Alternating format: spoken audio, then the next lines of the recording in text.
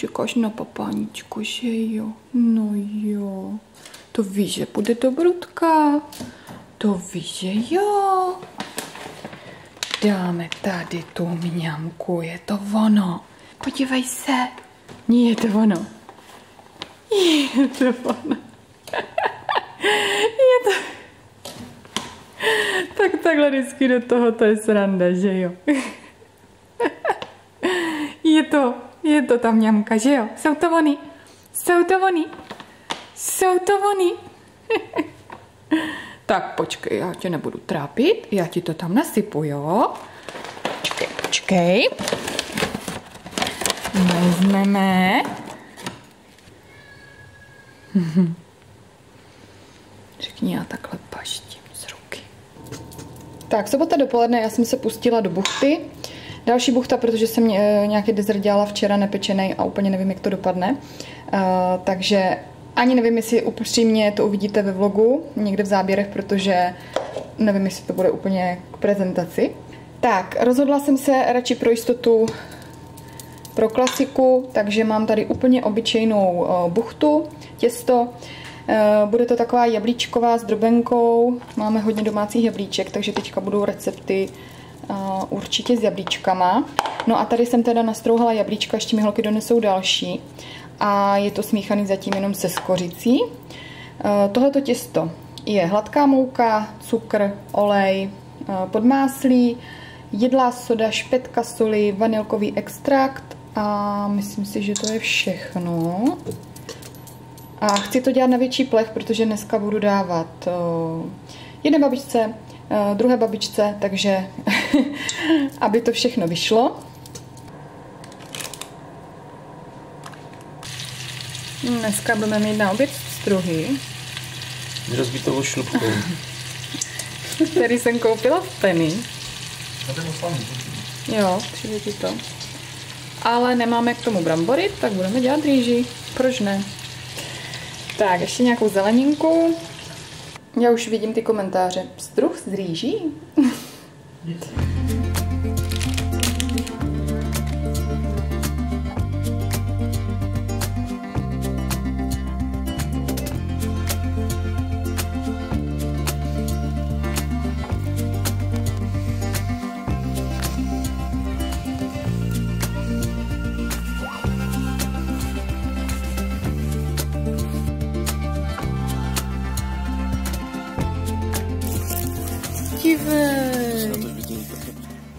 Tak máme neděli dopoledne a vydali jsme se do lesa na houby. Pořád vidím nějaký příspěvky, jak lidi dávají, že rostou, takže museli jsme vyjet, už jsme chtěli minulý týden, ale to nám nevyšlo. A teď tady vidím taky takový malý hříbeček před sebou, jupí. A našla jsem eh, prvního praváka letošního, takže to je úplně největší radost, ale je tady dokola kolem hrozně moc houbařů, strašně moc aut, takže uvidíme, před náma jsou lidi, ale toho praváka neviděli. Takový malý, ale jsou tady, hele. Tak, my stejně se zasadíme zpátky. No, oni už jdou. A oni si to vůbec nevšimli. Nevšimli si toho, že? Ty lidi.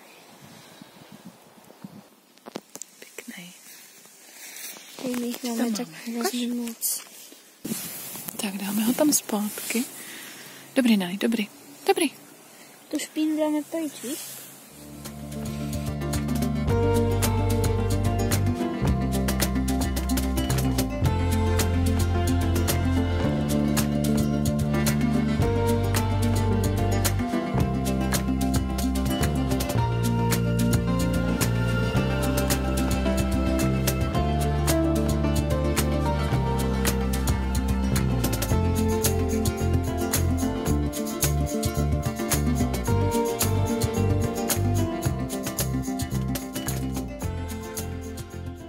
Tak konečně vyzkoušíme tyhle bramborové halušky z Penny. Nemáme uvařenou, máme hlad, že? Z hub. Tady do té směsi se přidá 400 ml studené vody, zamíchá se to a nechá se to asi dvě minuty odstát. A tady už mi uh, za chvilku začne vřít voda, takže potom to budu nějak tvořit. A má to být teda fakt jako rychlovka. A psali jste, že to je jako hodně dobrý. Že nějaká nouze, nebo že to kupujete pravidelně někteří, tak jsme zvědaví. Tak dělala jsem to tady na tomto struhadle. A dobrý, vypadá to dobře. Tak tohle je fakt rychlovka. Jenom dvě minuty povařit a jídlo je hotové.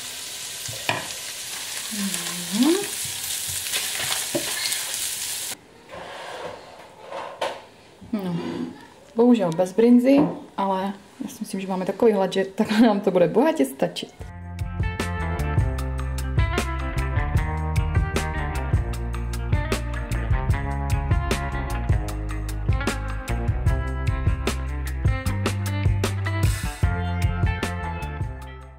Ahojky, já vám přeji krásné pondělí. Dneska máme 12. září, jsem chtěla říct 12. května. Odvedla jsem holky do školky, do školy, teď jsem se vrátila, no, dělala jsem práci doma, ještě pojedu do práce později a tvořím tady nějaký oběd. Chci dneska dělat, nebo spíš nevěděla jsem úplně, neměla jsem představu, co bych měla uvařit, ale měla jsem tady řapíkatý celer, tak ten jsem využila. Čas do polívky, čas do směsi, Eh, na tortily nebo do tortil a ukážu vám to, jak jsem to teda splácela dohromady. Takže dneska bude polívka a budou takový plněný tortily s takovou zeleninou, směsí a z tofu. Tady ty tortily jsem kupovala v Penny. No a tady mám tu zeleninovou směs, takže je tam cibule, je tam nastrouhaná mrkev, tofu, eh, část řapíkatýho celeru, spíš takový ty lístečky, a je tam tady ta čočka sterilizovaná, to se mi tam teda perfektně hodí. A jak jsem to chutnala, tak myslím si, že to bude dobrý. No a tady na polivce není nic zajímavého. Mrkvová s řapíkatým celerem, nějak jsem to povařila, rozmixovala. Taková rychlovka. Tak, já jsem tortilu ještě potřela ajverem, teď ještě trošku takhle zapeču. Vždycky to máme o chlup radši. Tak a já tady mám takový pidi nákup z Alberta. Mám tady maliny, moskevský chleba, žitný, milujeme. Citrony, Nelinka zůstala taky doma s Rýmou. se vystřídali se Sárinkou, Sárinka ve školce, Nelinka doma. Tady jsou broskve, pomeranče, něco na okna, co mi došlo, tak jsem vzala tady ten klin.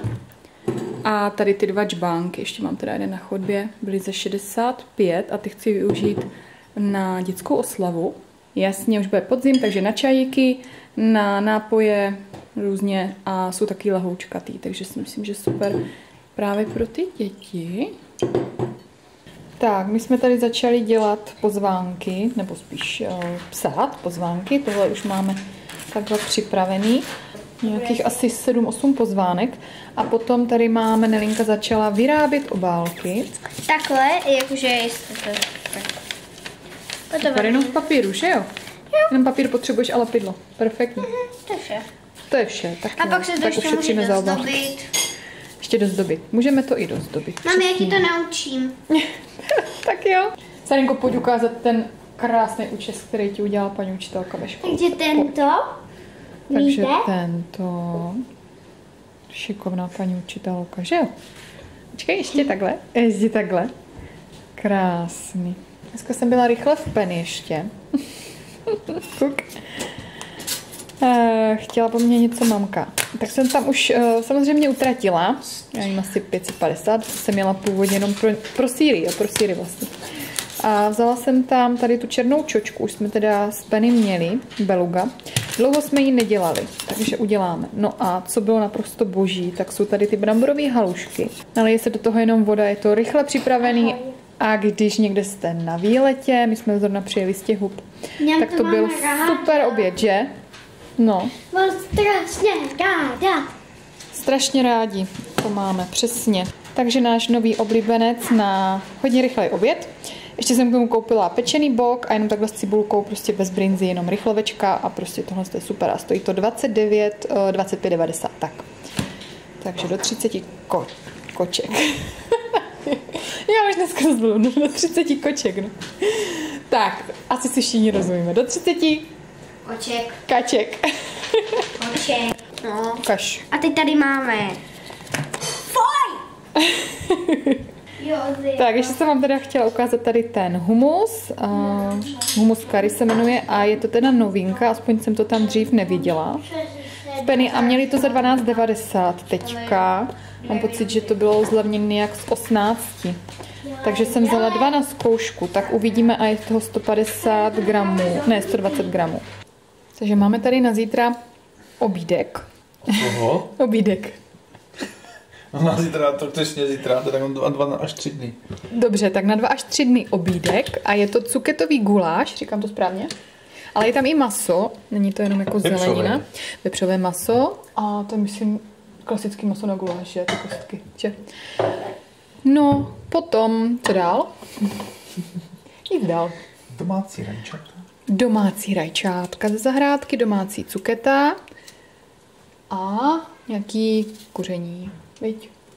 Domácí tymián. Domácí tymián, takže Ne, sám, co, co to je tam to? kořeníčko, bylinky a oregano. Oregano. Takže oregano.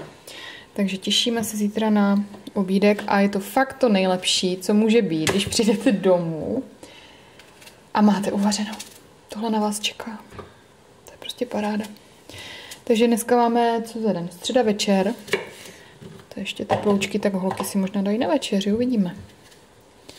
Holky dostat domů, to je něco. To je nadlidský výkon.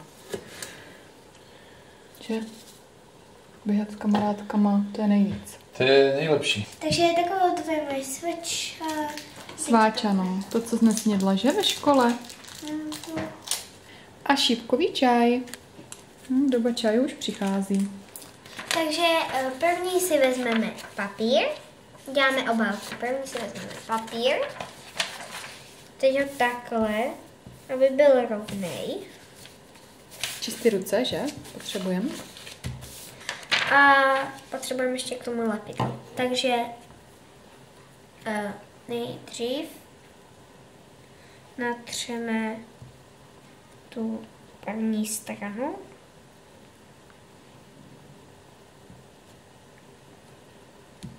No, máš krásný tetování. A To je z dětského dne, že? teď dáme druhou stranu. Je to z dětského dne? Jo.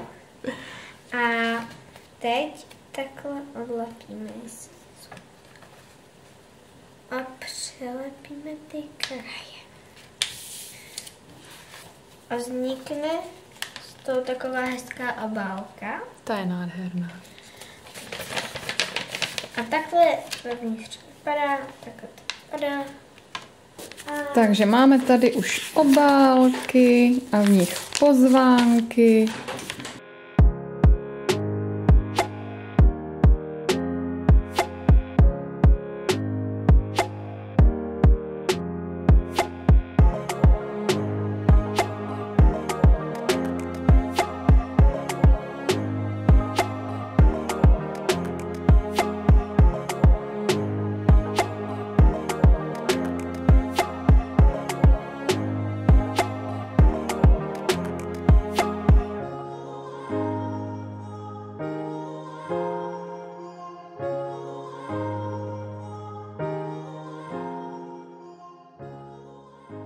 Jsem teďka koukala na Instagram a vyběhl tam na mě takový video ve storíčku od Přemka Forejta. Dělal tam takový zelený bramborák nebo něco takového, no prostě něco na způsob bramboráku, takže uh, jsem si řekla, že něco podobného vyzkouším. Samozřejmě bychom to nebyli my, aby jsme si to neupravili podle svýho. Takže tady je vývar a ještě tam přidal tady toho kikomana, takže sojovku. Bude to teda hodně slaný, ten základ, jak on tomu říká tělo, ale pak se to vlastně nemusí už nějak dosolovat, dochucovat, už to bude jako takhle dostačující.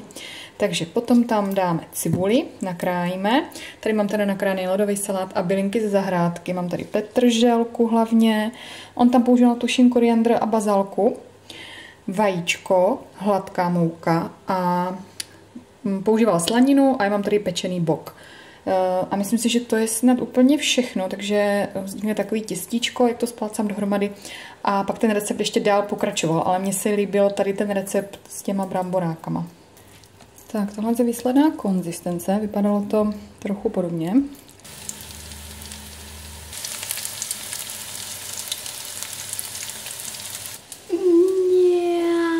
Líbí se mi packy šup. Mňam. Mňam, mňam, mňam, mňam, mňam. Tak já vám ještě musím ukázat ty dnešní výborné placky eh, na večeři. Ježíš, my jsme dlouho neměli takovou dobrotu a musím říct, že vůbec eh, nevadilo, že jsem vlastně měla, nebo neměla, neměla jednu nebo dvě ingredience.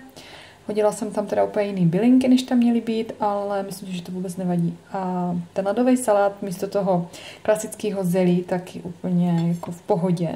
No a tohle to se fakt strašně moc povedlo, tohle vám doporučuji zkusit. Já už jsem si to teďka rychle přepsala, abych vám to mohla potom uvíct pod video. Ten můj recept.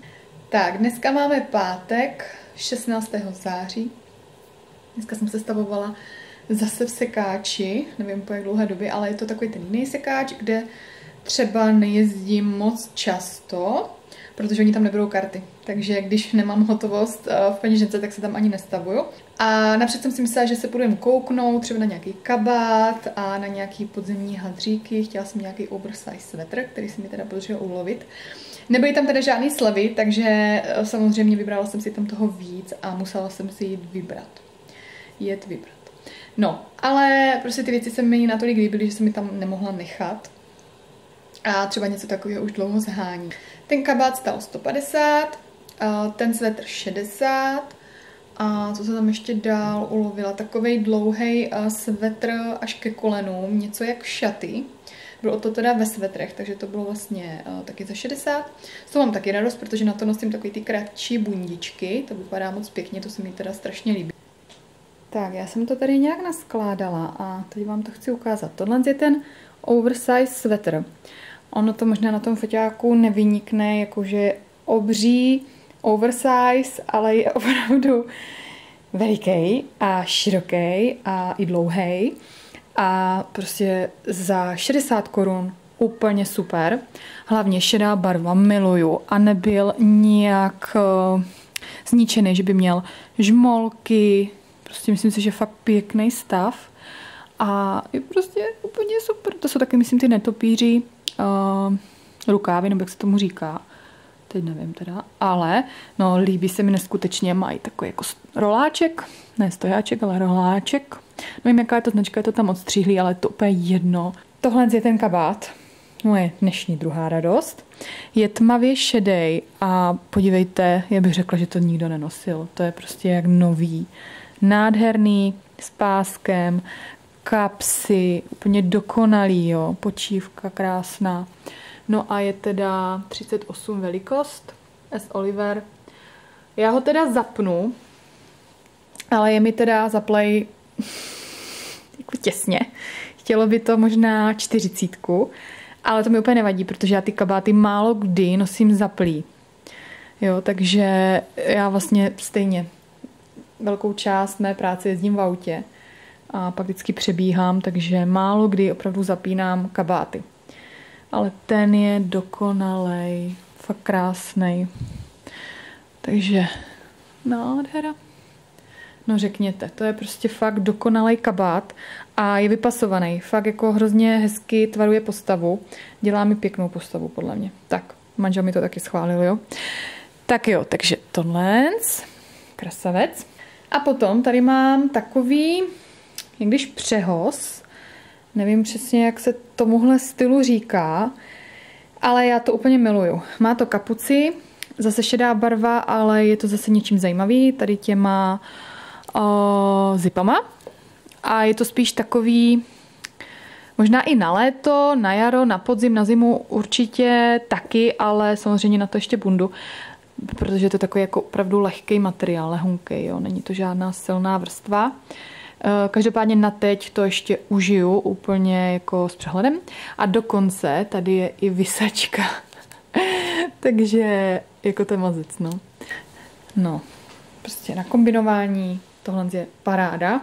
A tohle je uh, takový svetříkový, nebo další svetřík, svetříkový šaty, nevím, jak to nazvat, ale bylo to mezi svetrama, nebylo to mezi šatama. Ale zase eh, na legíny tohle vypadá hrozně dobře právě s nějakou kratší bundičkou. To já taky hrozně ráda takhle kombinuju a je to teda velikost M only. No, ale zase příjemný, nemá to žmolky, fakt uh, moc pěkný stav. Tohle mám, jsou ty legíny. No možná jsou zajímavý v tom, že tady na spod dole u kotníku mají pár takových perliček, nebo to nejsou perličky, ale prostě tady ty glitry. Pak tady mám ještě jednu takovou kratší bundičku. To mám ráda právě přes ten dlouhý kardigán s teniskama, s legínama nebo s těma uh, jeggínama. To je prostě super styl, to já taky mám hrozně ráda. Já mám ráda sportovně elegantní styl asi nejvíc. Prostě hlavně se v tom musím cítit pohodlně. To je hlavní, jako přesto nejde vak. A já si opravdu ty kousky uh, velmi dlouho rozmýšlím, někdy si to tam jdu zkusit do té kabinky dvakrát, když si nejsem úplně jistá. Vždycky si řeknu, jestli bych si to fakt ráno oblíkla. Když prostě rychle potřebuju něco skombinovat, jestli bych potom sáhla, vždycky to musí být taková ta láska na první pohled, jak já tomu říkám. Takže tohle je taky hrozně hezká kombinace, já nevím, asi koženky a tady je látka, ale jednak to mám ráda i k sukním právě, nebo k šatům. To je prostě ten styl, který já mám hrozně ráda. Uh, takže tohle to, jo, jo, jo. Takže bundička taková. Ta byla za 70. Takže to jsou moje dnešní ulovky, s kterými mám teda obrovskou radost.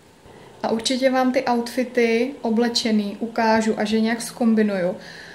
A doufám, že si vzpomenu, protože vždycky, když ráno vyjíždíme, do školy, do školky, když rozvezu holky.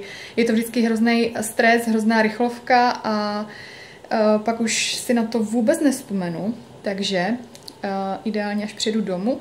A to většinou na to taky zapomínám, je to zase prostě se řeší něco jiného. Takže se budu snažit vám to ukázat, jak to třeba různě pokombinuju, nebo prostě, abyste to viděli na mě, zhruba abyste měli představu, jak to teda vypadá. A dokud na to myslím, tak jsem vám chtěla dát ještě jeden tip. Tak já jsem si asi 10 dnů zpátky to tričko strašně zaprasila, pokecala. Byly na tom masné fleky a říkala jsem si, a ježíš, tak to můžu tak akorát vyhodit. Ale co mi bylo doporučeno, jo? Ty fleky posypat avirilem, tedy tím dětským zásypem a vyprat. Fakt, že to byly jako velký fleky, nebo prostě ani ne velký, ale bylo jich hodně, prostě všude možně tak jsem teda dala na to doporučení a vyzkoušela jsem to. A to tričko je jak nový. Normálně nechápu, fleky nikde, takže vypraný, že pokud vás trápí nějaký masný fleky, určitě na to vyzkoušejte. A Viril, nenechávala jsem to ani nějak působit, jo, možná 20 minut, no a pak jsem to hodila do pračky a vyprala. Takže fakt paráda. Fakt nikde žádný flíček, zase tričko jak nový. Tak, my jsme sami tátou v lese. A to se nám tedy asi ještě nestalo, že? My jsme byli bez dětí v lese a jdeme se podívat, jestli tady rostou houby. Ale zajímavý je, kde jsme. Tak, dáme hádanku. Jsme v lese, kde se natáčela princezna Fantagiro. Kdo to tady zná, někde poblíž? No, tak schválně, kolik z vás kouká tady někde z Olomouckého kraje. Kdo by to mohl znát? Tak a my se jdeme podívat, jestli tady něco najdeme. Sice prožraný, ale máme.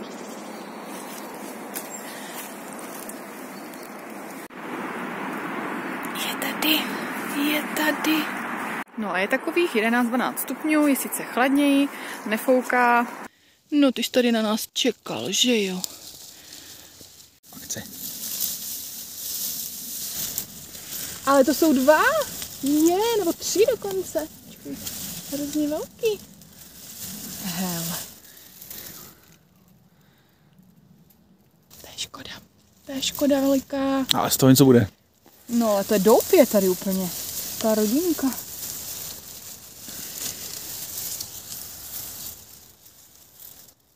Mhm. Mám ho vzít? Jo, jo, jo. Pokud nebude červavý, tak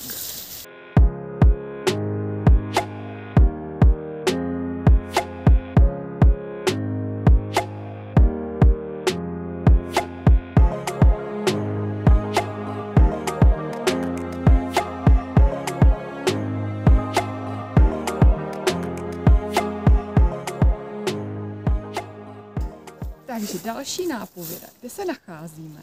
Rytířský sál, kde jsme teda nedošli, ale ten tady je v blízkosti. Takže to je nápověda číslo dvě. Máme tady další nápovědu. Krásně se nám to teďka rozpršelo, ale to nevadí, už jsme skoro v cíli. A to jsme našli v lese, a i s tím košíkem. Jo, jo, moc jsme si to přáli.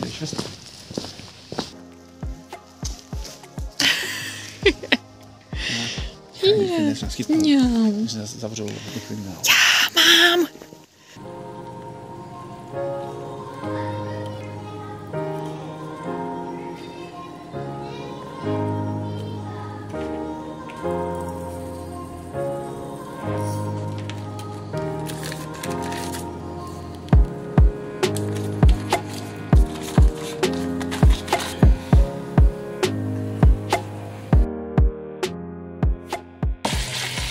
Dneska máme sobotu a my tady děláme kuře na paprice. Upekli jsme štrůdl. Tady je ještě cuketová polívka.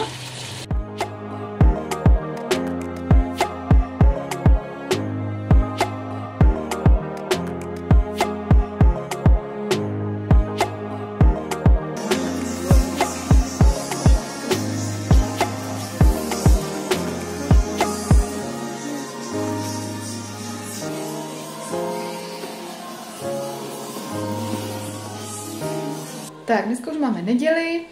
Strašně se nám ochladilo, jako fakt to je síla. Ráno bylo asi 6 stupňů. Teďka aktuálně je 10, máme už teda 7 hodin večer, ale my jsme byli ještě, já nevím, tak dvě hodiny zpátky ve Sportisimu v Olomouci eh, koupit kolečkový brusle, protože Nelinka si je už dlouho přeje a bude mít narozeniny koncem září. Uh, takže jsme je tam vybrali a teďka jsem přiběhla zvenku, protože trénuje musím říct, že jí to jde docela hezky a bála jsem se toho, Uh, protože já na tyhle ty věci jako nejsem vůbec uh, talent. Proto mě překvapuje, že jí to tak krásně jde. Takže super. Mám radost, uh, takže teď už máme 7 hodin, už jsem rozsvítila, protože už je prostě tma. A fakt teďka aktuálně už myslím, že bude 9-10 stupňů.